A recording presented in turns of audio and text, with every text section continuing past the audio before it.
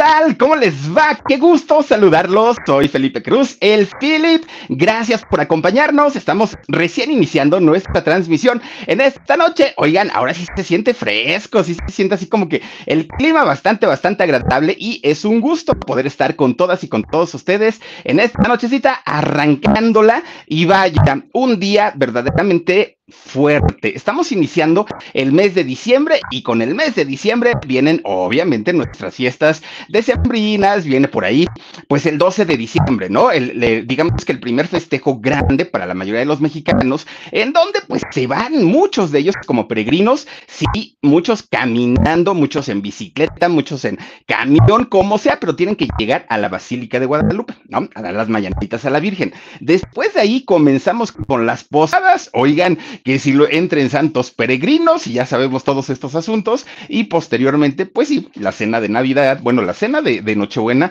y a festejar la Navidad, y ya con eso se nos está acabando prácticamente el año.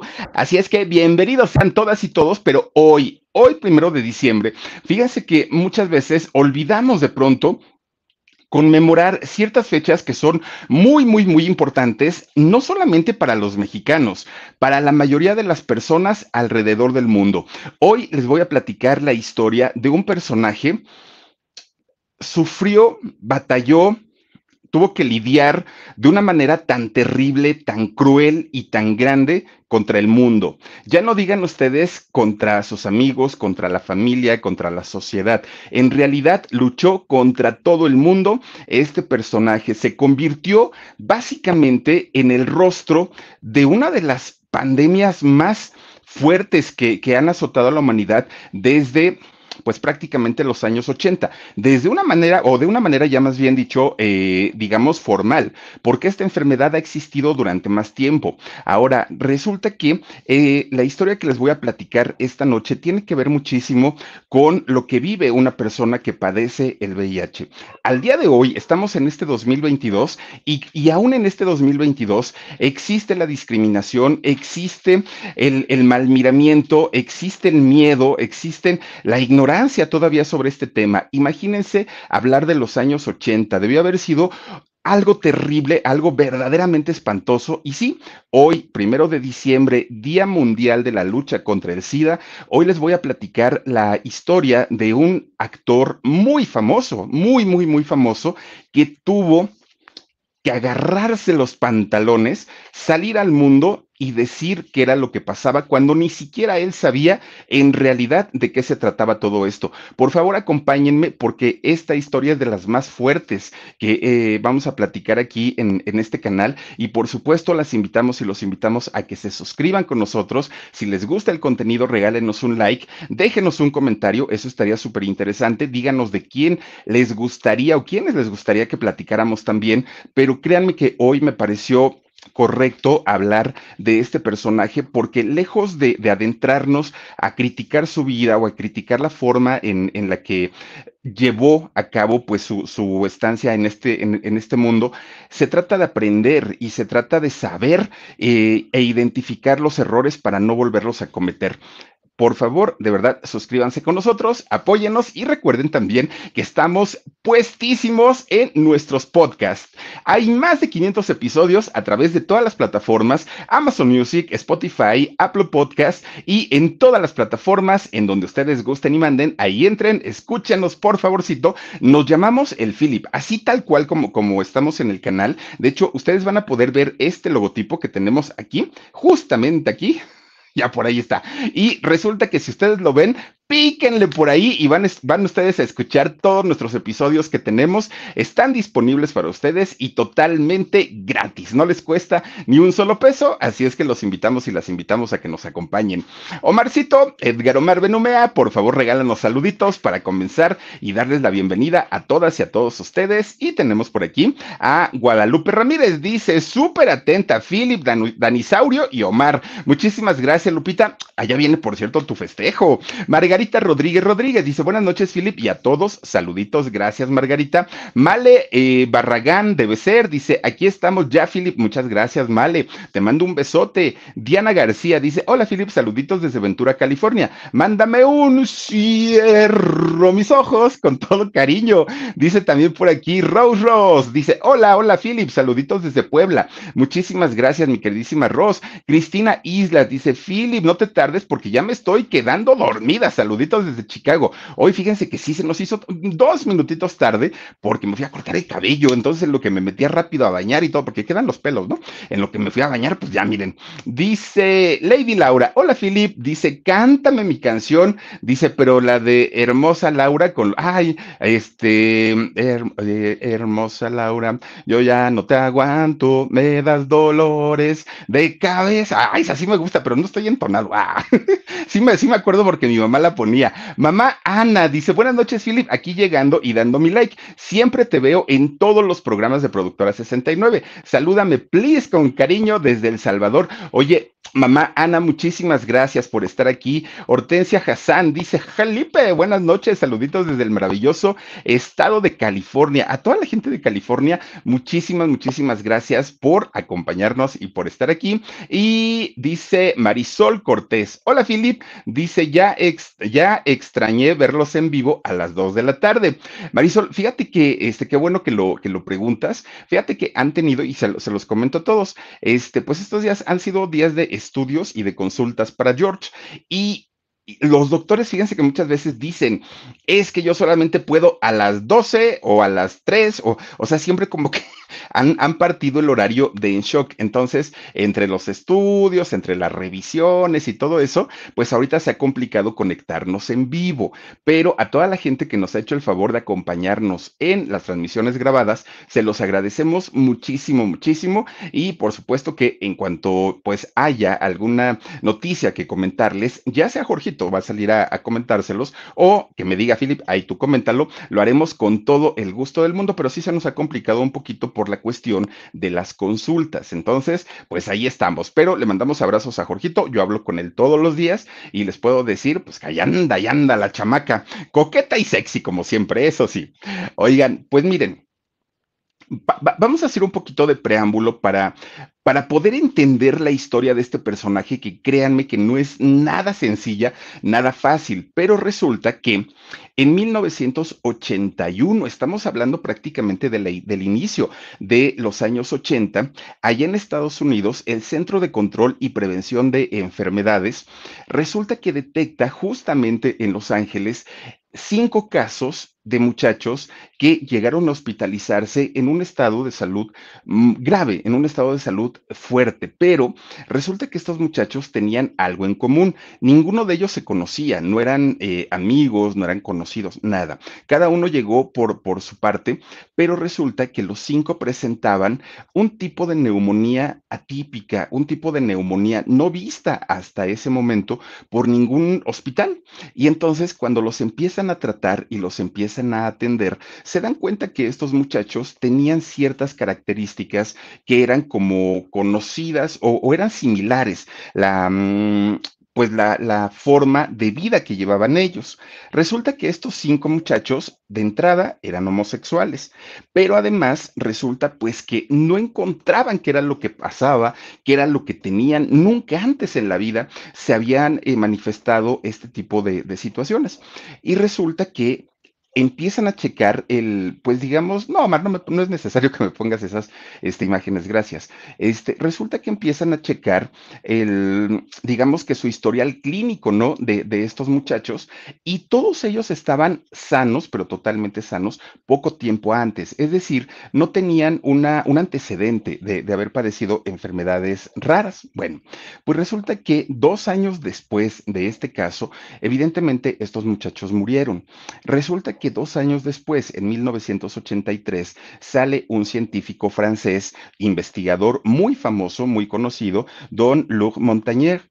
Y resulta que él, a través de todo su equipo de trabajo en el Instituto Louis Pasteur, eh, resulta que logran aislar un virus que él atribuía que este virus era el causante de toda esta situación. Primero lo bautizaron con un nombre, después le pusieron otro y otro y otro, hasta logran detectar que este virus era el causante, miren, de hecho ahí están, que era el causante de debilitar el sistema inmunológico de las personas y obviamente, eh, permitir el paso de enfermedades, todo tipo de enfermedades que terminaban con la vida de los pacientes. Bueno, pues resulta que este virus, fíjense que Originalmente se, encuentra o, salió de eh, el Congo, allá en, África. Resulta que la mayoría de las personas de, este país, bueno, de, son dos, ¿no?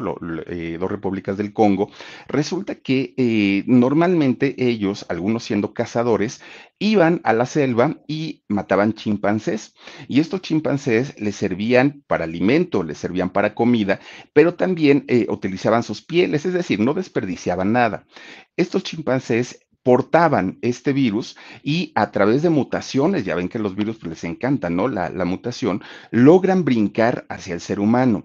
Esto ocurrió desde 1800, o sea, no estamos hablando de, de la era actual. 1800 ya había casos confirmados allá justamente en, en, este, en República del Congo.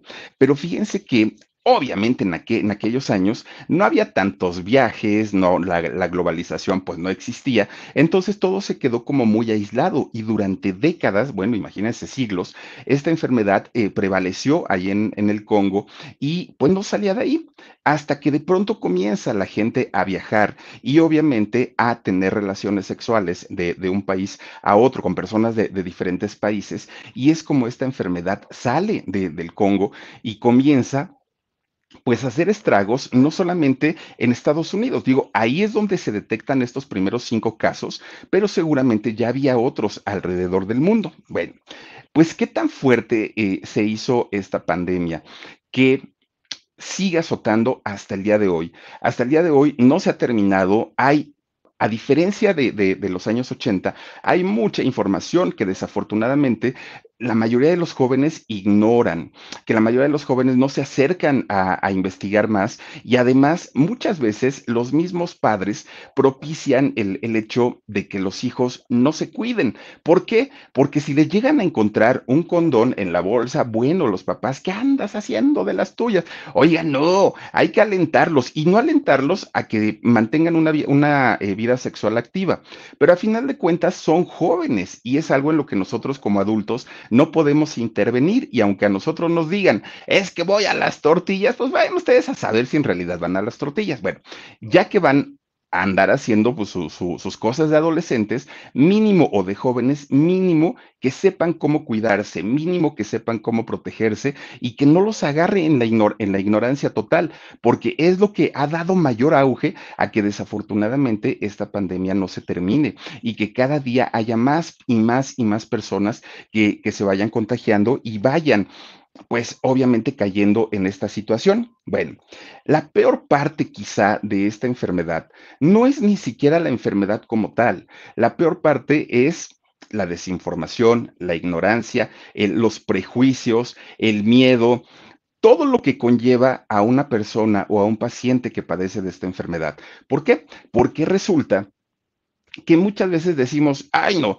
no voy a tomar agua del mismo vaso porque no me vaya a contagiar, ay no, no le voy a dar un abrazo porque qué tal que me contagia, ay no, que despedirme de beso, no, porque ese tipo de cosas que en los años 80 estaban justificadas, hoy se ha, quedado demostrado científicamente que no tiene ningún, ningún problema, pero la ignorancia muchas veces hace que a estos pacientes se les margine, se les vea como bichos raros, los tengan allí en un rincón en los hospitales, que no sean atendidos con dignidad, una situación que es la peor parte de, de toda esta enfermedad. Bueno, tratando justamente de, concientizar, perdón, de concientizar a la humanidad completa, a todo el mundo, de lo que representa estar eh, enfermo con este virus y sobre todo que tengamos la conciencia que cualquiera, cualquiera de nosotros, en cualquier momento pudiéramos estar en esta misma situación. Por eso no es bueno ni burlarnos, por eso no es bueno ni criticar, por eso no es bueno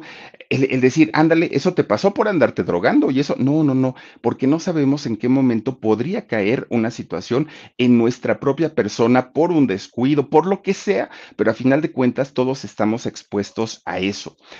Tratando de evitar esta situación, resulta que a nivel mundial, eh, a partir del año 1988, se instituyó el primero de diciembre como hoy, eh, como el Día Mundial de la Lucha contra el SIDA.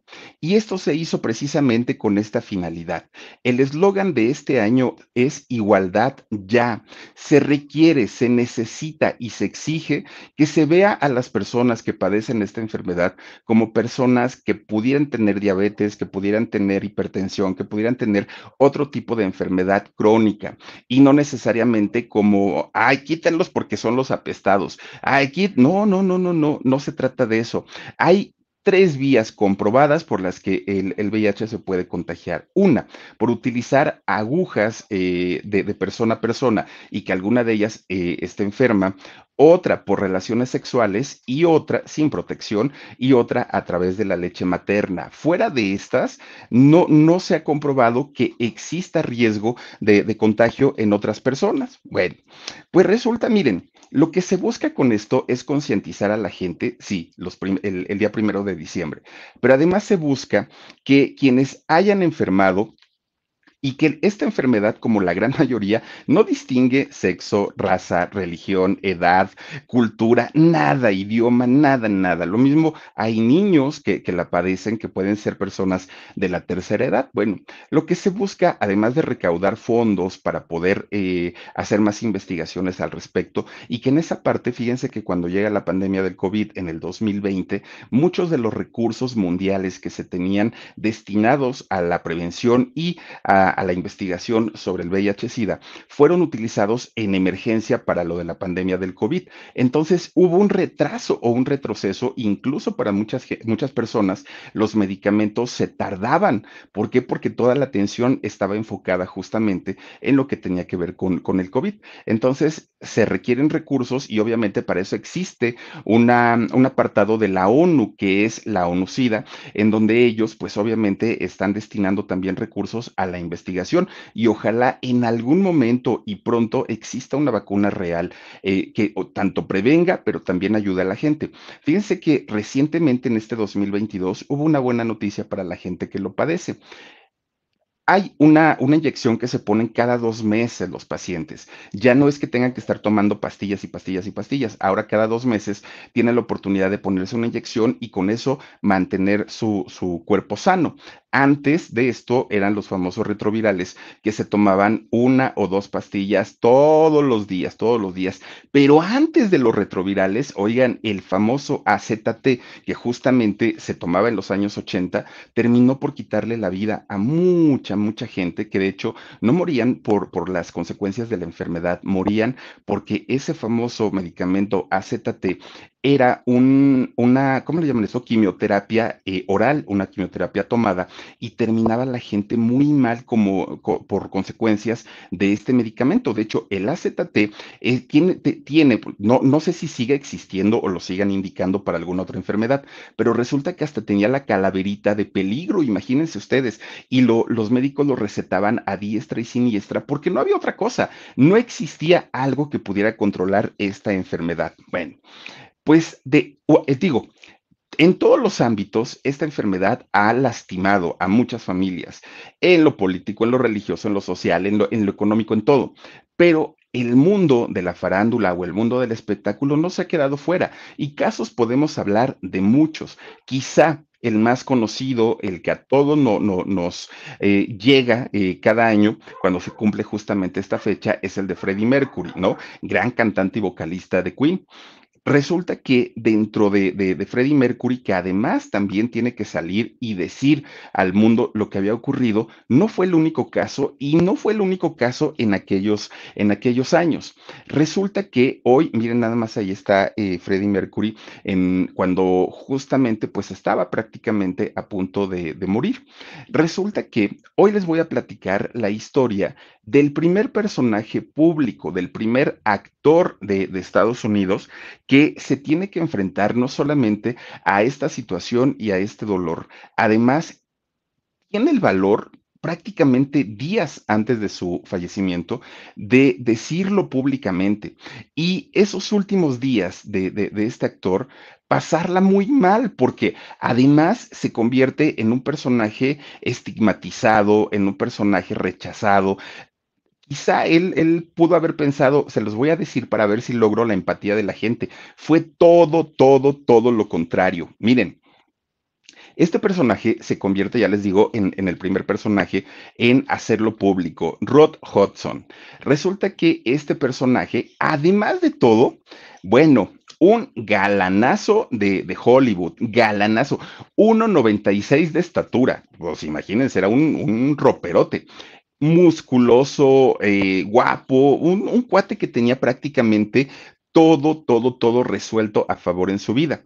Pero ¿quién fue este personaje? ¿Quién fue Rock Hudson? Bueno, resulta que era el sex symbol de los años 50 allá en Hollywood, un hombre muy, muy, muy, muy atractivo y que logró llamar la atención no solamente de mujeres, también de hombres. Bueno, era el galán por excelencia en aquella década de los años 50 y a las chicas les parecía un hombre bastante, bastante, pues, eh, agradable físicamente.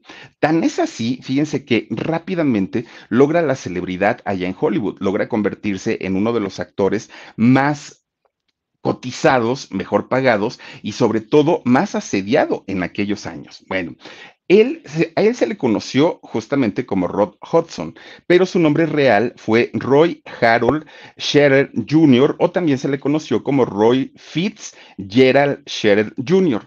¿Y por qué se le conoció con estos dos nombres? Bueno, su historia es bien interesante. Fíjense que él nace en Illinois, allá en Estados Unidos, hace más de 100 años. Nació hace 101 años, más o menos, allá en Illinois. Bueno, nace en una familia donde su padre, don Roy Harold, era mecánico de, de autos, fíjense nada más, y su mamá, doña Catherine, ella eh, era operadora de teléfono. De aquellos años cuando ustedes se acuerdan que uno, bueno, la gente llamaba por teléfono, pedía enlazar una llamada, aunque fuera local, y tenían ellas aquellos parcheos en donde conectaban y desconectaban cables y ahí estaban, ¿no? Y escuchaban todas las conversaciones. De eso trabajaba su mamá, doña Catherine. Bueno, pues resulta que el chamaco, pues travieso como todos los, los, los ¿no?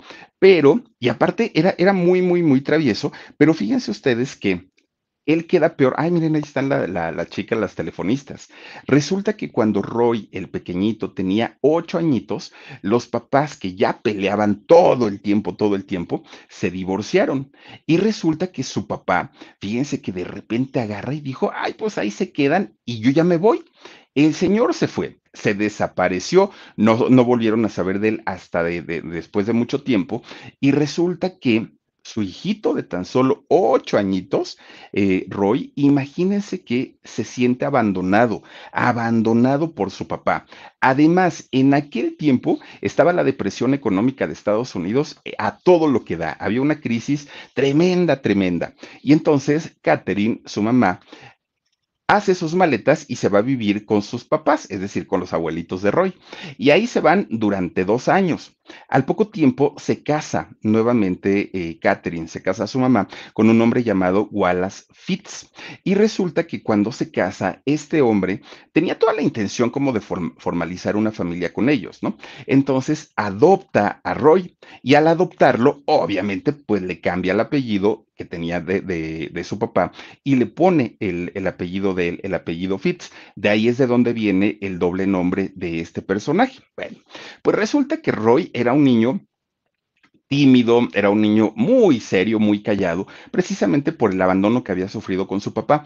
su papá biológico, pero cuando ya estaba su mamá casada con Wallace, pues el niño comienza a tener, pues digamos, una mejor actitud porque a final de cuentas ya estaba, eh, pues ya tenía un papá nuevo. Resulta que a él no le interesaba ni la actuación, no le interesaba ni ser artista, ni mucho menos.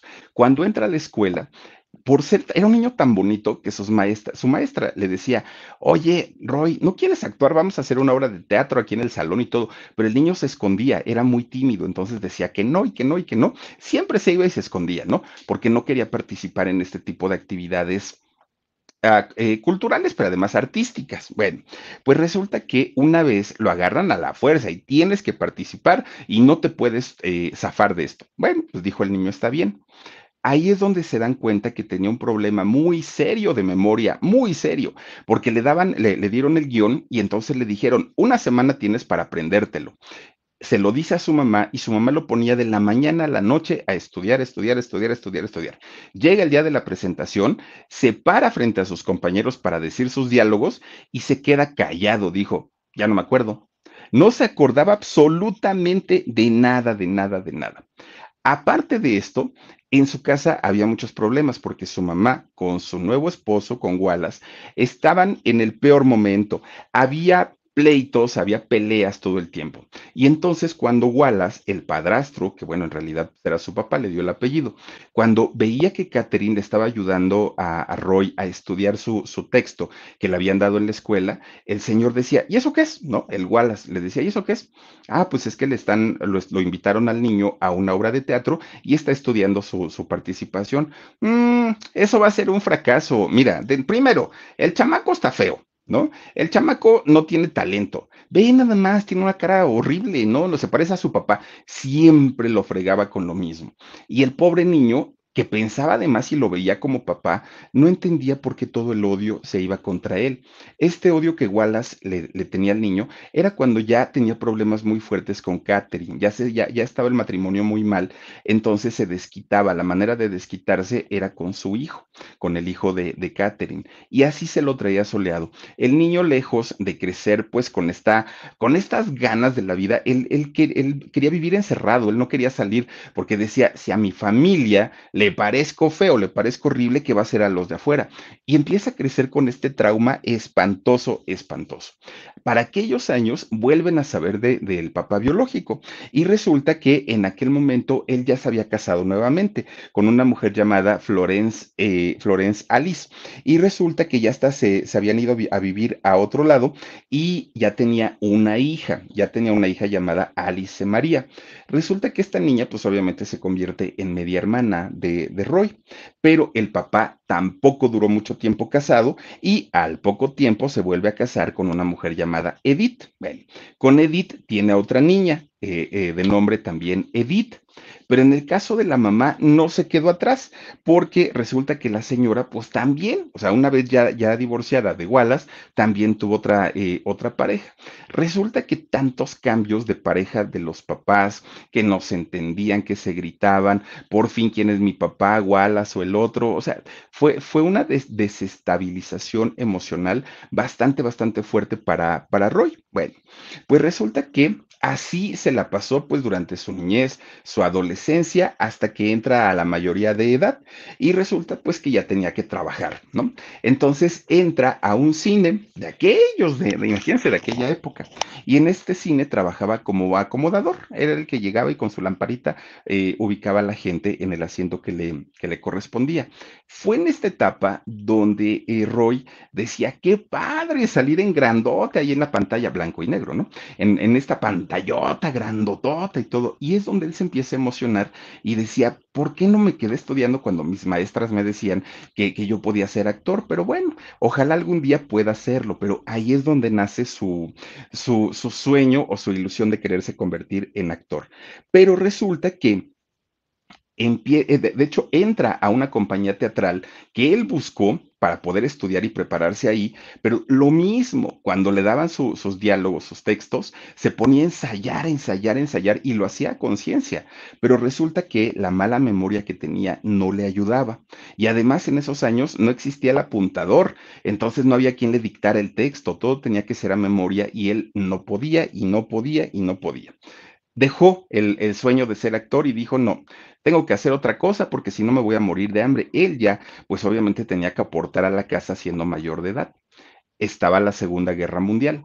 Entonces de pronto dijo, ¿qué hago? ¿Qué hago? ¿Qué hago? Ah, pues mi papá era mecánico, dijo él. Entonces me voy a meter a la Marina y en la Marina voy a, voy a decirles que tengo experiencia como mecánico y a ver qué me ponen a hacer. Y efectivamente, pues como estaba la, la Guerra Mundial, lo mandan hasta Filipinas, fíjense, se fue a pelear hasta allá el muchacho, pero ahí él, él trabajaba justamente, pues también como, como parte de la Marina en la reparación de los buques y todo eso. Bueno, pues resulta que cuando llega el año 46, un año después de que termina la, Segunda Guerra Mundial, es cuando eh, él se da de baja del ejército. Dijo, bueno, pues ya lo viví, ya estuve aquí, pues ya, ya este, quiero hacer otra cosa. Y entonces su papá, que para aquel momento vivía en la ciudad de Los Ángeles, allá en, en California, pues resulta que dice el Roy, pues yo ya estuve mucho tiempo con mi mamá, ahora me voy con mi papá. Y él estando cerca de Los Ángeles, seguramente, pues me quedará mucho más fácil si es que quiero dedicarme a eso para poder convertirme en actor al estar cerca de, de Hollywood. Y entonces Roy se da cuenta que se ponía su, traje de marino, que se ponía su, gorra, este, no sé cómo se llama, ¿no? Su, su, sombrero, que se ponía el trajecito, oigan, ya para ese momento era un gigantón, 1,96 de estatura, muy marcadito, habiendo estado en el ejército, pues tenía buena condición física todas las chicas querían con él, todas, todas, todas, porque lo veían y bueno, era la sensación y más ya viviendo allá en Los Ángeles, pues obviamente se convierte pues en uno de los muchachos más asediado, estaba muy jovencito. Bueno, pues resulta que él dijo, a ver, de ser bonito, de tener cara guapa, pues no voy a vivir, necesito trabajar. Entonces se pone a vender aspiradoras, fíjense, agarró ese empleo y no le iba mal porque el muchacho iba de puerta en puerta tocando, pero pues las señoras amas de casa, cuando veían a ese muchachote grandote, no importa, si ya tenían aspiradora la tiraban, pero le compraban otra. Le fue muy bien como vendedor porque nada más le sonreía y las señoras caían ahí, este, pues obviamente muertas, ¿no? Ante, ante la belleza de este chamaco. Pero resulta que el papá, pues de pronto un día se cansa y le dice, oye, pues es que yo tengo a mi nueva familia, tú ya eres mayor de edad, entonces ya no te puedo dar alojamiento aquí, vete. Y lo corre de su casa. Y este muchacho dice, bueno, ¿y ahora dónde me voy? No he logrado mi sueño de ser artista, no, no, algo tengo que hacer. Estaba bastante, bastante eh, preocupado. Se deja, bueno, se peleó tan feo con su papá que se dejaron de ver. ¿No? El, papá y él durante muchos años.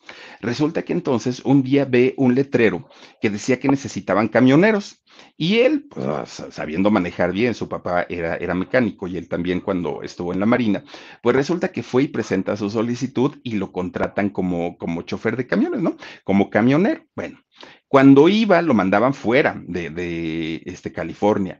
Cuando iba y regresaba, daba vueltas por los estudios de ahí de Hollywood. Y entonces, cuando, cuando veía que salía alguien, ¿no? De corbatita, que él decía, este es productor, entonces se acercaba y le decía, oiga, yo soy actor, deme una oportunidad, deme un chance nada y nada y nada. Iba y regresaba, iba y regresaba, nada, ya hasta lo conocían ahí en Los Ángeles y nada y nada. De repente sale un, muchacho, ¿no? Un muchacho, pues joven hasta eso. Y le dice, oye, ¿tú a qué vienes siempre? Y siempre nada más pues, le hablas a los que vienen de corbatita, pero ¿qué es lo que quieres? Y le dijo, no, pues es que yo soy actor y ya le cuenta la historia. Este muchacho le dijo, tú tienes talento y tú sí puedes conseguir convertirte en una estrella grandotota, grandotota. Y le dijo, yo soy agente, yo soy representante, yo me dedico a buscarle trabajo a la gente que tiene talento. Si quieres, trabajamos juntos. No, pues el Roy estaba feliz de la vida. Este hombre se llama, o se llamaba Henry Wilson. Entonces, pues ya, eh, eh, trabajaron juntos, pero resulta que este, este señor Wilson tenía el colmillo retorcido, se las sabía de todas, todas, había representado a muchas figuras eh, hollywoodenses, entonces él sabía su negocio, ¿no? Entonces, cuando vio que este muchacho, pues estaba jovencito y estaba guapetón, dijo, este tiene talento y de aquí me, me agarro. Bueno, pues este hombre inmediatamente comienza, este Wilson comienza a buscarle trabajo a Roy y lo encuentra nada más ni nada menos que en los estudios Universal allá en, este, Estados Unidos. Entonces firma, le, habla y le dice, oye, pues fíjate que ya tengo tu, tu, este, tu contrato listo y a partir de ahora te vas a convertir en un figurón. Bueno, pues resulta que es en este momento cuando le dicen, nada más hay un detallito, el nombre de Roy, pues, pues, ¿cómo te explico? No es vendible, necesitamos un nombre que sea más pegajoso, más cortito eh, y que además a la gente le, referencie algo. Bueno, es el momento cuando le cambian su nombre artístico por el de Rock Hudson. Y él dijo, sí, está bien, pues ahora sí que yo me dejo llevar, ¿no? Ahí justamente en los estudios Universal lo mandan a que tome clases de canto, de baile, de equitación, de actuación, de todo, de todo. Y lo empiezan a revisar, miren, desde el pelo, ahora sí como decía Arjona, desde el pelo hasta la punta de los pies, todo, todo, todo. Le levantan así los labios y le dice el, director de ahí de, la Universal, le dice, oye, lo único que no tienes bonito son tus dientes, están más feos que los del Philip y eso ya es mucho, ¿no? Entonces, este, te vamos a mandar a arreglar los dientes, pero además te me vas al mejor gimnasio donde van las estrellas para que te pongas corpulento, porque si estás grandote y si estás marcado, pero te falta músculo, hay que inflarte más le hacen una transformación a este muchacho que, que, de ser un muchacho, pues digamos, normalito, que llamaba la atención, pero normalito, lo convierten, bueno, en un dios, ¿no? Para la gente de, de aquellos años. Pues miren, la Universal tenía muchísimas esperanzas en este muchacho cuando vieron el, aporte físico y sobre todo lo bien que se veía cuadro. O sea, la, Universal dijo, este muchacho pues sí tiene talento. Entonces, pero bueno, no, no es que tuviera talento, sino tenía como esta parte física que podía llamar la atención. El problema era que para la actuación era muy malo y era muy malo por ese eh, problema de memoria que tenía y que le había hecho tanto, tantos, pues digamos, tantos desastres en su vida. Resulta entonces que le dicen, lo primero que vas a hacer va a ser un tipo de fotonovelas, hagan de cuenta como las que había aquí en México, ¿no? Ahí no vas a hablar, solo son sesiones fotográficas en lo que te vamos preparando. Y resulta que este muchacho se convierte en un trancazo. La Universal ya le había invertido mucho dinero en él, había invertido bastante, pero sabían ellos que no podían arriesgarse y a mandarlo directamente a la pantalla del cine. Entonces lo mandan a que hiciera estas eh, como tipo fotonovelas y ahí se convierte en un trancazo este muchacho. De repente, un día, le dicen, ya estás listo para tu primer, pues digamos que no, no, protagónico, pero para su primer papel importante en el cine, Escuadrón de Combate. Para aquel momento, este muchacho, Rock Hudson, tenía 23 años, estaba en su mejor momento, ¿no? Y lo ponen ya a trabajar con las cámaras, con sus compañeros, oigan, no dio una, todo se le olvidó y eso que él se había preparado bastante, bastante, bastante. Tuvieron que hacer 38 veces sus escenas, todas, todas, todas. 38 veces porque pues era bastante, bastante malo, ¿no? Y miren, cualquier otro actor, cualquier otro, hubiera sido despedido inmediatamente porque era un dineral invertido en tiempo de estudio, en, todo, en todo, en todo. Entonces, cualquier, en cualquier otro caso lo hubieran despedido, pero no a Hudson a él le dijeron, no hombre, ni te preocupes, ahorita lo hacemos otra vez y otra vez y otra vez y otra vez y otra vez. Entonces, toda la producción de esta película comienzan a murmurar, no, este cuate debe tener un patrocinio, pero grandote, ¿cómo crees que nada más así? Porque sí, yo cometo un error y ya me están sacando a patadas y este lleva 38 y hasta le aplauden y le dicen que no se preocupe y tiene su masajista y tiene todo. Bueno, pues resulta que mucha, mucha de esa gente eh, decía, lo que sucede es que alguien muy poderoso de la Universal lo está apoyando y es cuando comienzan a salir los rumores sobre su, su orientación sexual, que en realidad pues eh, eh, a él le gustaban los hombres. Estamos hablando de los años 40, de los años, no sé qué, qué, qué año sería por aquella época, pero resulta que si ahorita todavía sigue siendo noticia, imagínense en aquellos años, era algo impensable, era un pecado, no se podía tocar siquiera el tema. Y entonces decir que la máxima, bueno, no era todavía tan, tan máxima figura, pero decir que un muchacho tan varonil, un muchacho tan alto, tan guapo, tenía relaciones afectivas y sexuales con otro, otros hombres, era impensable en aquel momento. Entonces, esos rumores comienzan obviamente a martillarle la carrera que apenas nacía de, este Hudson. Él, no entendía y no sabía pues qué era lo que pasaba, pero además sus compañeros lo, lo envidiaban, compañeros y compañeras, porque decían, yo hago ese tipo de cosas y bueno, me leen la cartilla y este cuate hasta la Puede ser. Bueno, pues resulta que de repente la secretaria de un directivo, pero miren, de esos grandototes de allá de la Universal, se le sale, se le sale decir, no, pues es que mi jefe, fíjense que mi jefe, don, don Edward Mull, pues este siempre se junta con él ahí en su oficina y me, se encierran y pues me dicen que yo me vaya, ¿no? Aunque sea mediodía, si llega este Hudson ahí a verlo, a Eduardo, dice yo me, yo me tengo que ir. Y con esto, pues ahora sí que los rumores que tenía un romance con un directivo de la Universal, pero además, pues obviamente que era homosexual, empiezan a crecer, a crecer, a crecer, a crecer.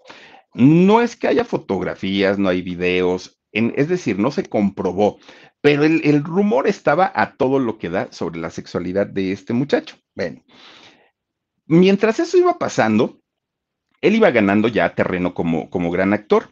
Y resulta que, pues las películas que él hacía en aquel momento, como Winchester 73 o La Peggy, fueron películas taquilleras a más no poder. Vendían y vendían bastante bien. Hacía todavía papeles no, no de protagonista, pero el muchacho en película que salía era la taquilla garantizada. Bueno, pues resulta que con el apoyo de Edward, de Edward Mull, quien, eh, o que en aquel momento se decía que era su novio o que era su pareja, pues llegó a protagonizar. Llegó, fíjense, después de no tener ni la experiencia, pero tampoco tener la capacidad de memoria para poder hacerlo, hace su primer protagónico en la película eh, eh, Mi vida es mía. Esta película la hace al lado de una mujer que ya era muy conocida, Yvonne de Carlo. Yvonne de Carlo es esta, esta mujer que hizo la película con Charles Heston, la de Los Diez Mandamientos, era la esposa de Moisés en esa película. Pero también Yvonne de Carlo fue Lily Monster en la serie de los Monsters de allá de Estados Unidos. Es decir, ella ya era una actriz muy, muy, muy reconocida, Yvonne de Carlo, muy guapa ella. Pues resulta que junto a ella protagoniza Hudson su primer película película. Le va, no le va bien, le va increíblemente bien. Miren, ahí está ella. Bueno, pues a partir de ahí, Hudson se convierte en el objeto del deseo de hombres y mujeres, prácticamente de todos. Se convierte en una garantía de taquilla también por, por aquellos años. Bueno, pues obviamente tanta celebridad, tanta fama, tanto éxito hacen que la prensa poco a poquito empiece a interesarse más sobre su vida y sobre su vida privada, sus amores, sus secretos, todo, absolutamente todo. Y obviamente una de las preguntas obligadas era referente a su sexualidad. ¿Era o no era homosexual? En este tiempo, vuelvo a lo mismo. Todavía puede sonar fuerte la pregunta, pero imagínense, en aquellos años era peor todavía. Bueno, pues resulta que por ahí cuando él tenía como 30 años de edad y que el rumor ya estaba muy, muy, muy fuerte, esto ocurrió en el año 55, había una revista que se llamaba Confidenciales, Confidencias, algo se llamaba la revista. Confidencial se llamaba esta revista, gracias Dani. Y resulta que esta revista busca a, este, a su manager, al Wilson, y le dice, oye, tenemos un artículo dedicado completito de pieza a cabeza en donde pues vamos a exponer a tu artista, ¿no? Y te lo avisamos nomás para que no te agarre pues de bajada, pero ya le sabemos dos, tres movidas a este cuate y entonces pues va a salir y va a ser un trancazo en ventas para nosotros. Y entonces este, el, el manager dice, ¿qué hago? ¿Qué hago? Porque en aquel momento Hudson estaba en la cima de su carrera y sabía que una noticia así podía terminar con, con la carrera y era su mina de oro. Entonces le dijo, es, este hombre, el manager, le dice a la revista, mira, tengo dos actores que no son así como muy conocidos, ¿no? Pero traen un chismesote estos actores que si quieres, yo como que filtro la información, como que filtro no queriendo todas las broncas que traen estos, son dos, y pues a ellos les haces la carrera, pero no te metas con mi Hudson, porque el Hudson, mira, me está pues, haciendo ganar un buen dinerito.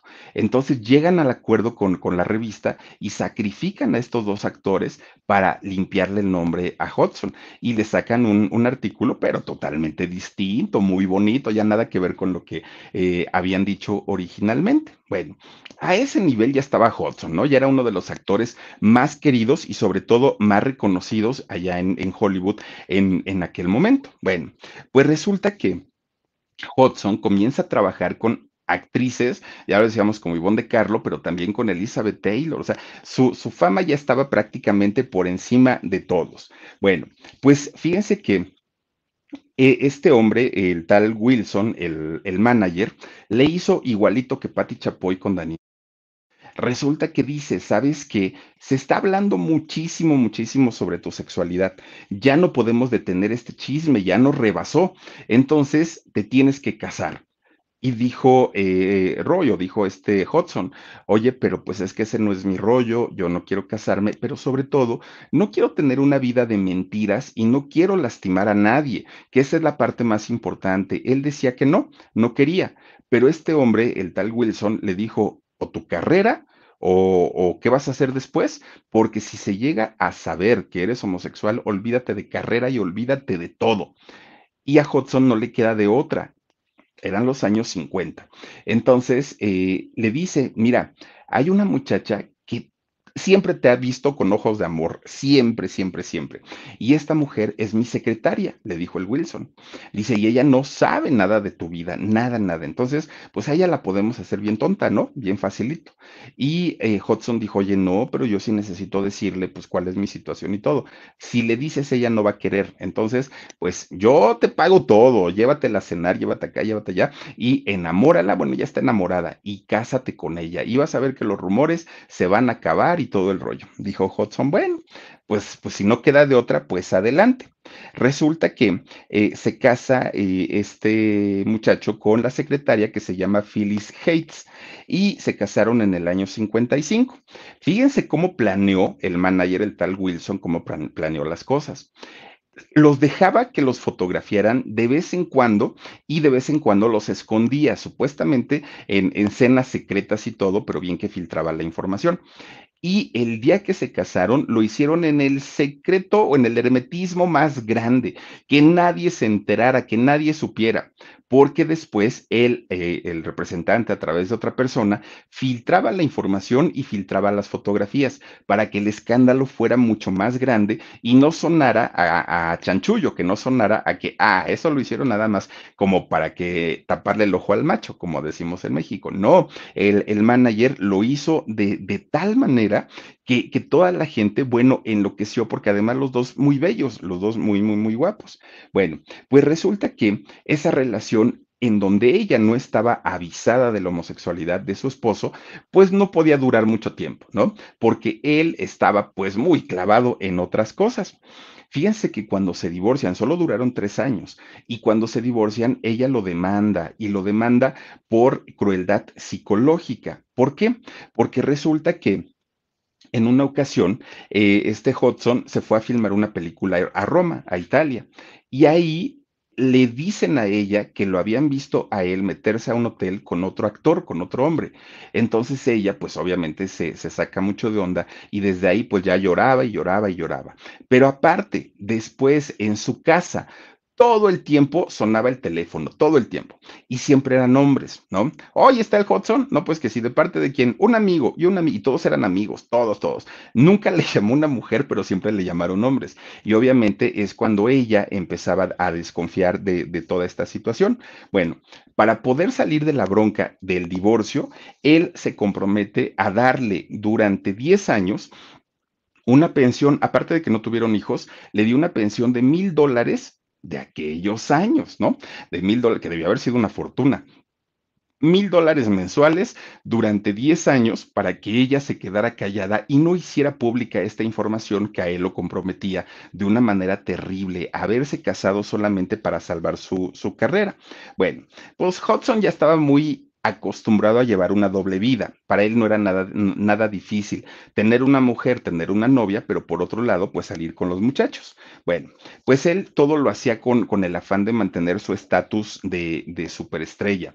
Se le llegó a relacionar con Marilyn Monroe, imaginen nada más, con Judy Garland, con, con Elizabeth Taylor, con todas ellas, precisamente él propiciaba todo esto para que la gente dijera, no, hombre, pues es un machote, un cemental, pues nada más alejado de la realidad. En, en, sí, su personalidad era muy varonil, era muy masculino, pero eso no tiene absolutamente nada que ver con su sexualidad. Bueno, pues miren, Mientras los periódicos sacaban las notas de que, ay, anda con Marilyn Monroe y anda con Elizabeth Taylor y todo, no, hombre, él andaba con Robert Taylor, él andaba con, con Tyrone Power, andaba pues con, con, con muchachos además muy guapos en, en aquella época. Bueno, pues resulta que eh, sí hubo un, un, hombre que estuvo muy enamorado de él, mucho, mucho. De hecho, este hombre eh, fue su pareja. Fíjense que el nombre no, no, no lo tengo, pero resulta que fueron pareja en los primeros años de la carrera de Hudson.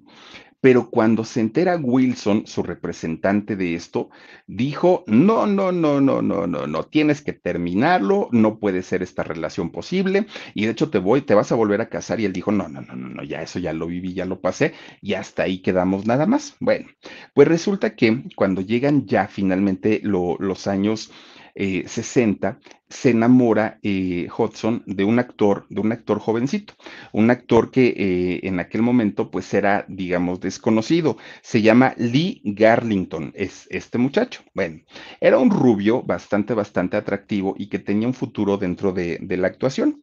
Pues miren, este muchacho después ya eh, dejó la actuación y se convierte en corredor de bolsa, pero estuvo mucho tiempo como pareja de, este hombre. Bueno, pues ahí estuvieron. Después, fíjense que eh, se, se, encuentra a otro muchacho y eh, comienzan a tener, pues digamos, una relación, ¿no? Bastante, bastante estable, pensaban ellos. Ah, miren, ahí está el rubio.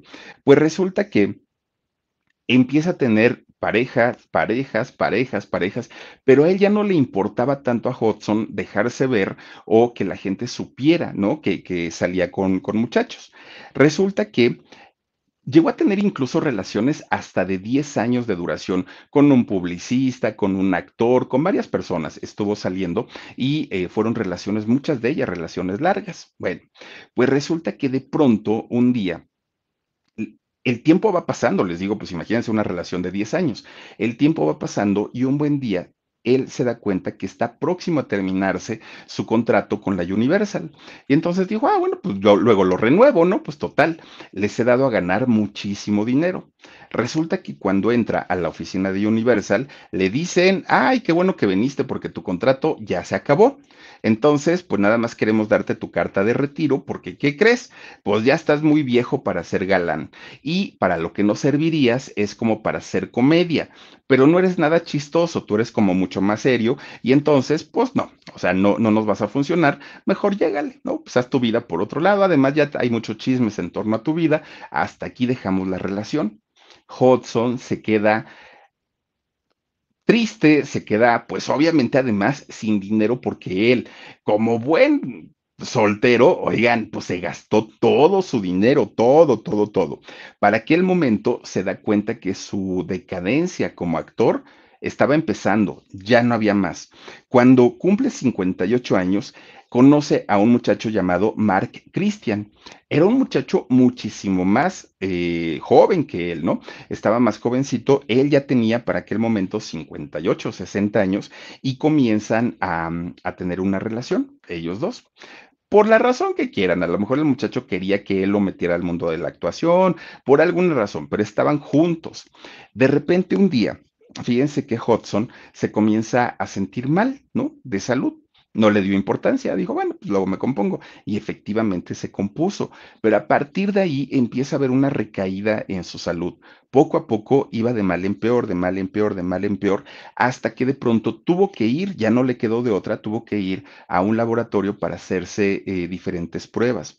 Y es el momento en el que le confirma el médico que era portador del virus del VIH. Bueno, Mencionar simplemente el, el, virus del VIH en aquellos años era un terror, era una pesadilla y además era sinónimo de muerte porque no existía tratamiento alguno. El único que si acaso la gente llegaba a tomar era el famoso AZT, esta eh, quimioterapia en, en, pastillas, y la gente no la quería tomar porque los efectos secundarios eran muchísimo más fuertes que, que, que lo que podían proteger a la persona. Bueno, pues resulta que lo que hace este hombre, Hudson, es ocultarlo. No se lo dijo a nadie, absolutamente a nadie, rompió los estudios, el papelito de los resultados, lo rompe y ni siquiera se lo dice a su pareja, no se lo dice a Mark. Posteriormente, Mark iniciaría, cuando supo y se enteró de la verdad, inició una demanda multimillonaria para heredar los millones de Hudson porque decía que lo había hecho deliberadamente. ¿Por qué? Porque él sí sabía que estaba enfermo y no se lo había comunicado. Entonces, que le había destruido la vida y por eso pues solicitó, no sé en qué paró la demanda, pero la demanda estuvo y fue por varios, varios millones de, de dólares en aquel momento. Bueno, pues todo lo que se sabía de este virus en aquel entonces eran rumores, eran eh, suposiciones, no era nada confirmado porque todo mundo tenía una percepción distinta de lo que era el, el VIH.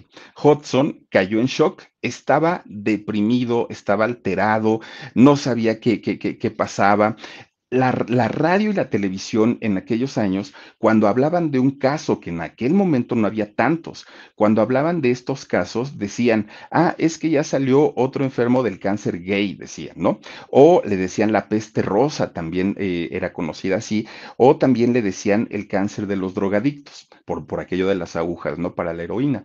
Entonces Hudson no quería ser clasificado dentro de estos grupos y por eso callaba, pero además le daba mucho muchísimo, miedo saber que, que, tenía que trabajar y al trabajar saber que tenía que relacionarse con, con sus compañeros de manera cercana.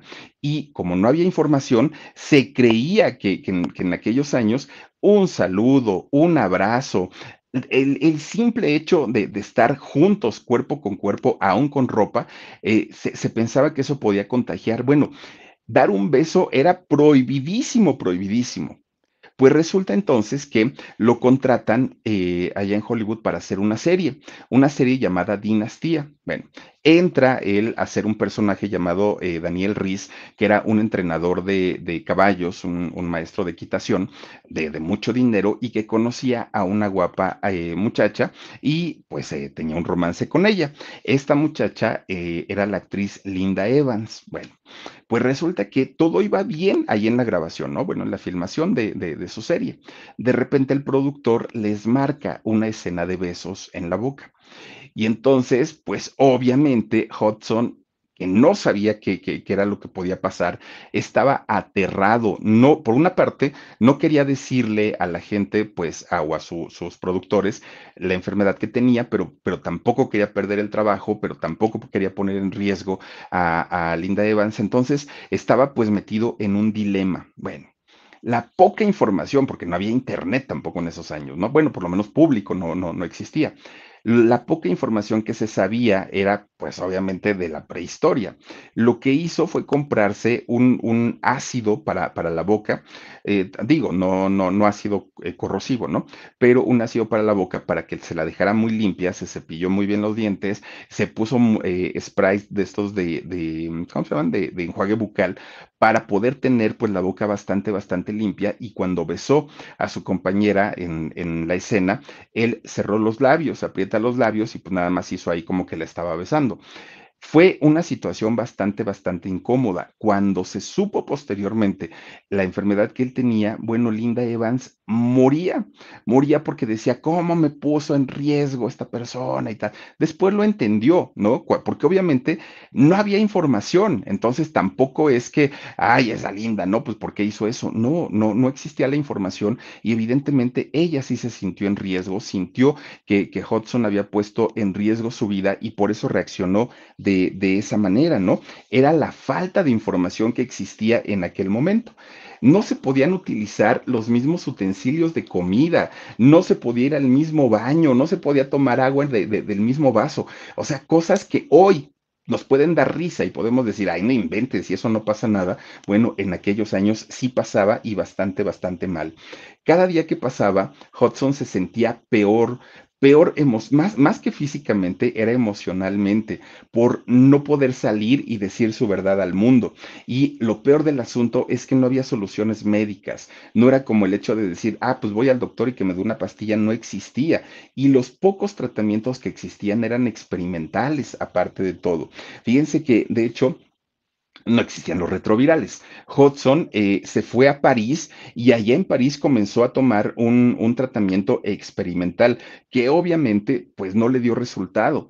Estando en París empieza a complicarse su salud y eh, se tuvo que regresar a Hollywood, fíjense, allá su mansión que, que tenía. Y entonces eh, se rodea de un grupo de personas, pocas, que sabía que eran de su entera confianza y a ellos les comenta lo que tenía y ellos se hicieron cargo de él por mucho tiempo. Y entonces lo mismo que ocurría con Freddie Mercury, que tenían que, quemar todos los, eh, los, empaques de los medicamentos para que la prensa no estuviera pues hurgando, ¿no? Entre la basura y poder eh, pues descifrar qué era lo que pasaba, pues evidentemente hacía este muchacho, hacía lo mismo. Bueno, pues resulta que la salud salud de él ahí en su mansión cada vez estaba más complicada, estaba peor, peor, peor. Entonces un día, una actriz amiga de él, muy, muy famosa en, en aquel momento, Doris Day, resulta que Doris le dice, oye, ¿qué crees, Hudson? Ella no sabía nada. Y le dice, fíjate que voy a hacer un nuevo programa y este programa va a ser de entrevistas y tal, tal, tal. Y tú como mi amigo quiero que seas el primero en estar ahí en el foro. Ah, pues le dijo este Hudson, sí, no te preocupes, somos amigos y yo voy y voy a estar ahí. Pregúntame lo que quieras. Bueno, pues resulta que cuando llega al estudio, porque él cumplió, a pesar de sentirse tan mal, él cumple cuando llega. Cuando llega al estudio, bueno, era otro Hudson, ya no, ya no era el mismo, estaba muy mal, mucho, mucho, muy mal. De hecho, eh, ya no coordinaba ni siquiera sus ideas, sus pensamientos. Estaba bastante, bastante mal. Eh, Doris le platicaba o le preguntaba algo y él contestaba algo totalmente distinto, que no tenía que ver con, la conversación. Esto pasó en el año 85, fíjense. Y resulta que pues la gente se sacó muchísimo, muchísimo de, onda, porque pues decían, este no es Hudson, por lo menos al que conocimos, ¿no? Al que vimos en las pantallas del cine. Bueno, después de, de salir del foro, Hudson se va para París, nuevamente por aquel tratamiento, pues dijo a lo mejor, pues ya avanzaron, a lo mejor ya me funciona, y se va para París. Pero cuando él se va, la prensa va detrás de él porque sabían que algo estaba pasando. Entonces, eh, Hudson, estando allá en París, sufre un desmayo en el Hotel Ritz y la prensa quería saber sí o sí qué era lo que pasaba. Estaban muy, muy, muy al tanto de si salía, no salía, eh, se asomaba por la ventana, o sea, estaban pero muy, muy, muy atentos de qué era lo que pasaba con quien había sido una de las figuras más importantes del cine de Hollywood en aquel momento. Es su representante quien de pronto, porque también como consecuencia de toda esta enfermedad, pues desarrolla un cáncer en el hígado, que eso ya lo sabía y lo tenía bastante avanzado. Entonces sale su representante y le dice a la prensa, sí, el señor Hudson está enfermo, tiene cáncer en el hígado, por favor entiéndalo, pues como hablan, ¿no? Normalmente los, los representantes. Bueno. Además de todo, el cáncer es inoperable.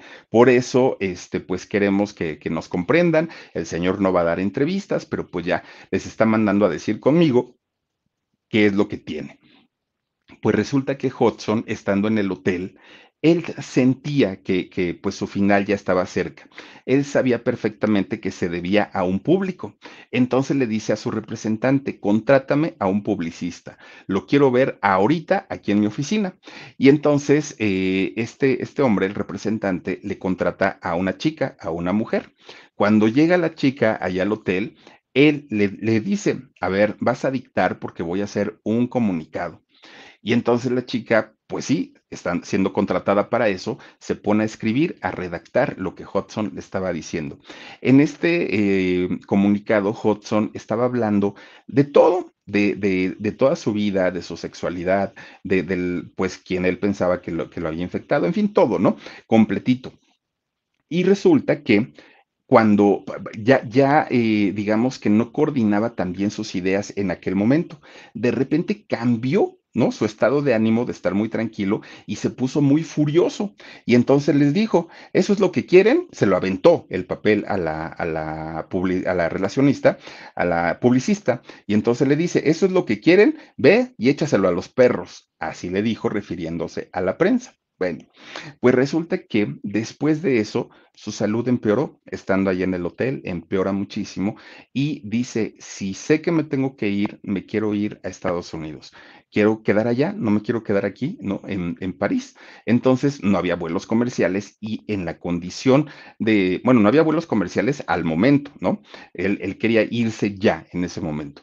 Entonces, eh, lo, lo, que le proponen es rentar un avión privado desde París hasta allá, hasta Los Ángeles. Le dicen, el problema es que, pues, le cobran 250 mil dólares que pasarían a ser como unos 5 millones de pesos de aquí de México. Ahorita, en aquellos años, era mucho más.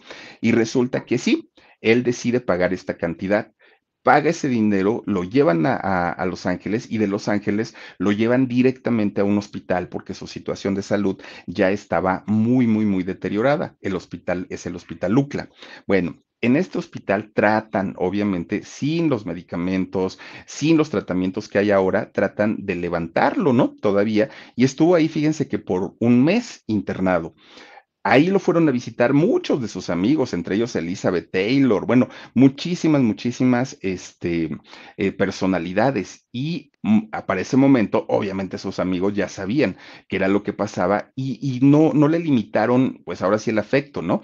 Llegaron, lo visitaron, estuvieron con él y fíjense que cuando le preguntan a Hudson, sus amigos, oye, ¿y por qué decidiste decirlo? Sabiendo que es una enfermedad que te iba a estigmatizar, que no te iban a dejar tranquilo lo, los medios y todo, ¿por qué decidiste decirlo? Y él dijo, no fue un, un, acto de, de, ¿cómo se llama esto? De honestidad, dijo él. No es un acto de honestidad, lo dije porque hay mucha ignorancia, porque hay mucha desinformación, porque la gente no sabe lo que sufre una persona que padece esta enfermedad y lo hice básicamente para que los jóvenes vean lo que pasa, vean lo que sucede y a partir de ahora comiencen a concientizarse y a cuidarse, dijo Hudson. Bueno, pues obviamente fue algo muy fuerte y fue muy duro para la mayoría de la gente y sobre todo para quienes la admiraran. Él decía que ojalá y existieran métodos de, prevención para que esta cosa no siguiera creciendo. Llega el 2 de octubre de, del año 1985 apenas había cumplido 60 años, recién había cumplido eh, 60 años, cuando este Hudson pues pierde la vida allá en su mansión de, de Los Ángeles. Este personaje pues muere.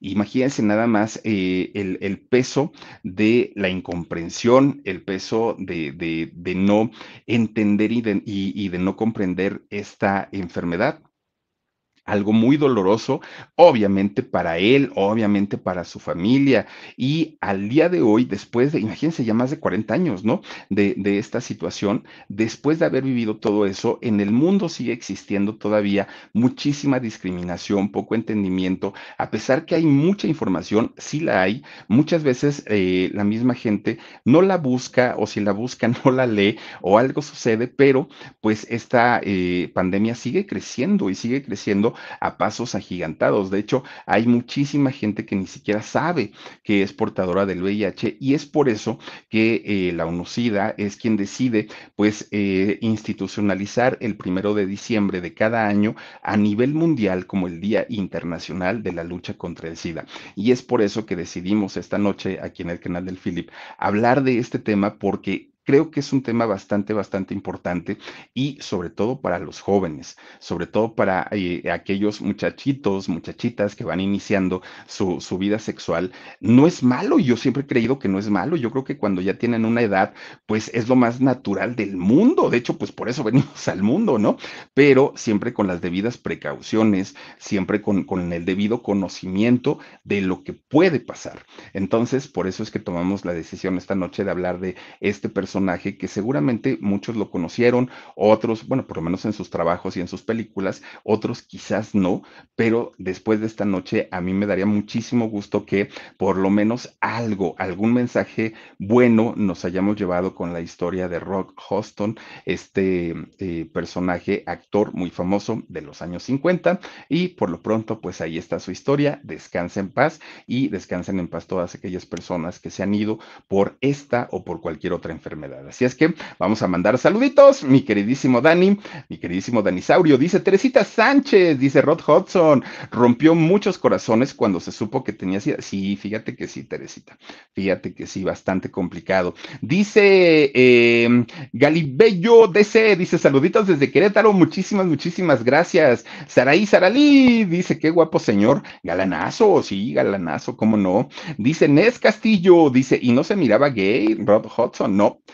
Fíjense que no, no, no, no, para nada. Y eso la ayudó, obviamente, en su carrera. Julia eh, Vargas dice, tú cuentas las historias bien sabroso, Philip. Muchos saluditos para ti y a todos los que andan por aquí. Gracias, Julia. Yo te mando muchos besos. Eh, Lucía Olaya dice, hola, Philip, saluditos desde Puebla. Te mando muchísimos besos. Gracias a Mili López. Dice, te mandé mi like. Como siempre, muchísimas gracias, Mili. Gracias también a Mirta Díaz. Dice, saluditos cordiales desde Argentina. Muchísimas gracias a toda la gente de Argentina. Isabel Castañeda dice, buenas noches, mi Philip, abrazos y bendiciones. Gracias a ti, mi queridísima Isabel. Andrés eh, Velázquez dice saluditos. Gracias, Andrés, por acompañarnos esta noche. Brisa González Bravo dice, llegando y escuchando, saluditos a ti y a tu equipo. Muchísimas gracias, mi queridísima Brisa. Gloria Elena García Soto dice, Philip, salúdame. Soy de Chihuahua, Chihuahua y besitos. De Chihuahua, Chihuahua. Te mando besotes. Basti dice, sí estaba galán, pues sí, galán. No, y aparte grandote, fíjate, 1.96. Dice Claudia Maldonado, tan guapo y bello hombre. Mm, pues mira, tenía su pegue, ¿cómo no? Dice Irene Almaraz, hola Fili, buenas noches, qué guapo te ves. Ah, bueno, uno, por lo menos uno. Un comentario, pues se agradece. Dice Cecilia González, hola Filip, buenas noches, llegando un poco tarde, ya di mi like, saluditos desde San Juan del Río, Querétaro. Oigan, saludos a toda la gente, que por cierto, allá en Querétaro que le clausuran su, su restaurante al Wherever Tomorrow, ¿no? Apenas que porque no tenía permiso para vender alcohol y le entraban, miren, bien sabroso al chupe, quién sabe si ya lo abrirían, pero estaba ahí en Juriquilla, el restaurante de, de este, del Wherever, que también el Wherever, por cierto, está ahí en los podcasts, ahí pueden escuchar su podcast que se llama, ¿cómo se llama el, podcast del Wherever, hijo? Este, mm. ay, ahorita, ahorita nos dice Dani, pero está bien bueno, ¿eh? Dicen que es el número uno en deportes y sí lo creo, no es tan malo el Wherever. Bueno, más bien es muy bueno. Muy fuera del lugar. Ah, muy fuera del lugar se llama su, su podcast y lo pueden escuchar en todas las aplicaciones y ya de pasito escuchan al Philip también. Dianita Santiago dice saluditos a mi hija Eli, que está muy atenta a la historia. Me da muchísimo gusto que esté tu hijita por aquí porque son temas duros y fuertes pero qué mejor que los, los hijos estén enterados de todas estas cosas que pasan. No, no suceden y no son casos aislados, son cosas que se pueden replicar en todas las familias. Por eso es importante, por lo menos, que los hijos estén enterados. Gracias, Alicia Magaña. Dice, hoy cumplo años, mi querido Philip, y de regalo te quiero a ti. Te... Ay, gracias, Alicia Magaña. Déjame pongo mi moñito y nos vamos para allá. Oigan, pues bueno, pero antes me voy al alarido, porque ¿qué creen que tenemos alarido a las 12 de la noche? Y ya casi son, faltan 15 minutitos. Ojalá nos puedan acompañar, cuídense mucho, para quienes ya no nos acompañen en el alarido o lo vean después. Vivi Quintanar Flores dice, mmm, Philip, mi amor, dice, tú siempre te ves guapísimo, ese corte te queda muy bien y esa chamarra te hace lucir delgado. Te mando besos. Gracias, mi queridísima Vivi. Tú me ves con ojos de amor por eso. gracias, gracias, gracias. Nos vemos en el alarido. Cuídense mucho, descansen rico, escúchenos en nuestro podcast y nos vemos el día de mañana, 2 de la tarde, programa en shock, y a las 10.30 aquí. Oigan, qué historia tan buena les tengo para el día de mañana. Ojalá nos acompañen, cuídense mucho. Adiós, el alarido en un ratito. Adiós.